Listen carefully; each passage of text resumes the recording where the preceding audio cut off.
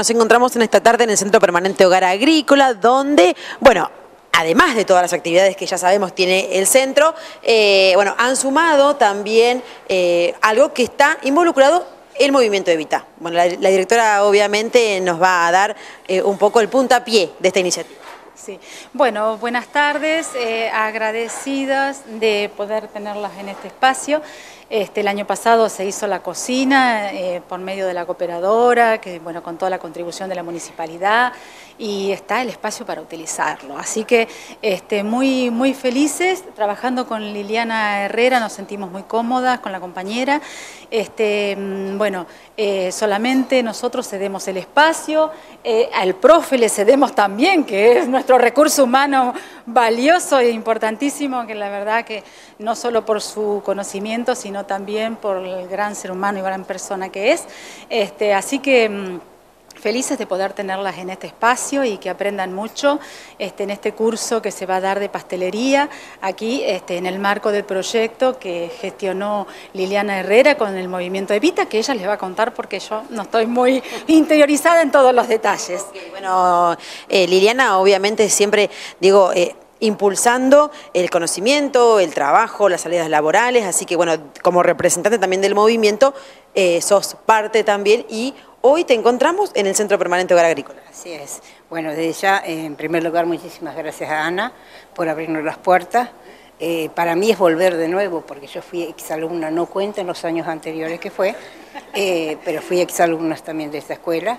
Eh, y así que por supuesto muchísimas gracias. De las alumnas, las primeras, la primer, la primer promoción, del año 60. Eh, exacto, fue la primer promoción, este, así que eh, bueno, orgullosa de poder volver a la escuela.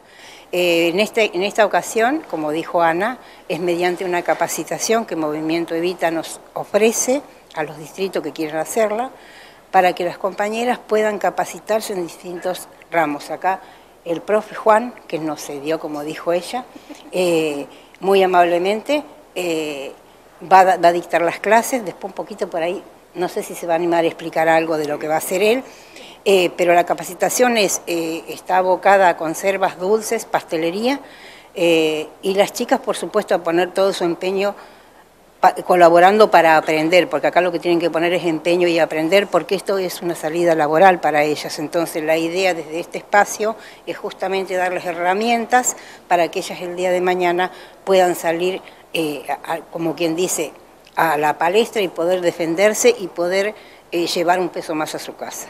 Así que desde ese punto de vista, y un poco explicarle que todo el material didáctico, que después ustedes lo van a, lo van a ver, que en la parte teórica pidió Juan, eh, también está eh, subvencionado por el movimiento Evita, o sea que los insumos los compramos en el distrito. ¿sí? Lo bueno que esto tiene, que yo siempre digo, aclaro, eh, no manejamos dinero en mano, sino que directamente vienen los depósitos a los lugares donde compramos, que para nosotros, por lo menos en lo personal, es una tranquilidad. Y al profe también, él tuvo que mandar todo su currículum, que es extenso, y su CBU al cual le van a depositar las horas cátedras que tienen son 48 horas, lo cual implica que van a ser dos meses de capacitación. Juan, me imagino que, digo, eh, no solamente sos, bueno, sos un profesor, estás capacitado para esto, pero además estás contribuyendo también a una situación social, como decía eh, Liliana, una salida laboral también para otros. Así que es muy importante tu trabajo. Contanos un poquito cómo se inicia, cómo, cómo se inicia en esto de la pastelería.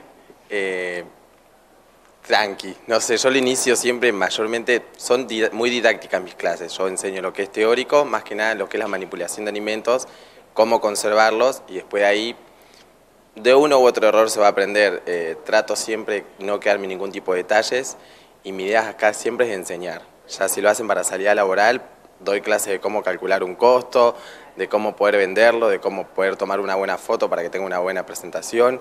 Eh, trato de nunca quedarme nada yo, porque no me sirve para mí tampoco, porque yo tengo mis trabajos y en este sector tenemos que sí o sí tirar todo para el mismo lado. Exacto, de eso se trata, de eso se trata. Y bueno, y hay que decir que el espacio físico, te sentís cómodo, ¿verdad? Está divino el lugar. Hermoso.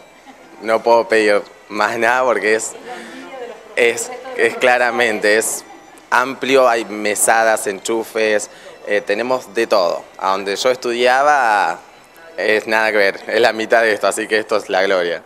Totalmente, bueno, la verdad que los felicitamos por, por unirse de esta forma para, para un bien común y además, eh, bueno, para ofrecerse a la comunidad, que es lo más importante, y vemos que el lugar está divino, así que bueno, felicitaciones a los tres. Sí, eh, no, es que eso, que la, capacitación es la base fundamental para la salida laboral y es importantísimo que todas las alumnas eh, presten atención y aprovechen a nuestro profe que sabe muchísimo y que le encanta lo que es pastelería y no se queda con ningún detalle, como él dice, con ningún tip, con nada. No se guarda cosas, este, esos secretitos de, de cocina que se guardan los demás, él no se los guarda, los comparte con todas, así que con mucho gusto lo va a hacer y es muy, este, muy grato tenerlas acá y que aprendan mucho y que puedan, puedan salir adelante, tengan un proyecto de vida que les permita salir adelante.